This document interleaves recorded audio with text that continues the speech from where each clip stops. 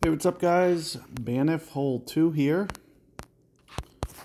And here you can see a rightward pointed wind. If I was to keep this on, I'd be pulling very close to max.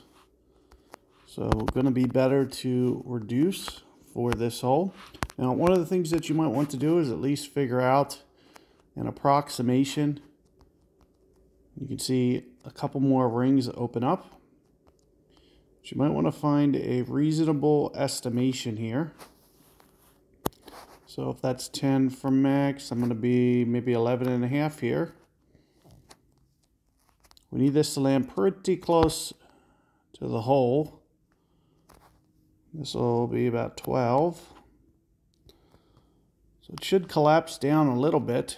So as you can see, I'm kind of a little bit maybe through the hole. And 12 rings for max, we're going to try. 7, 2. Switch to Bigfoot. Something along the lines of this.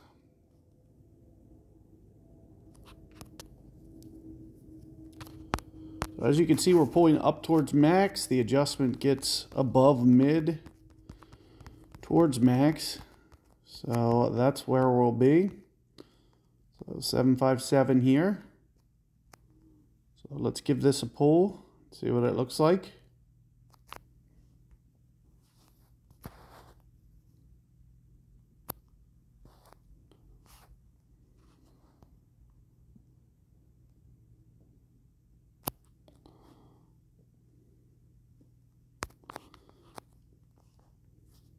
Almost seven, six rings.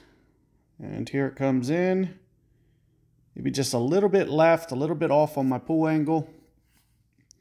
Um, you know, it's tight, but just a tad over. You know, I might have been right at the 7-6 line there. And as you can see, uh, maybe just a little bit heavy.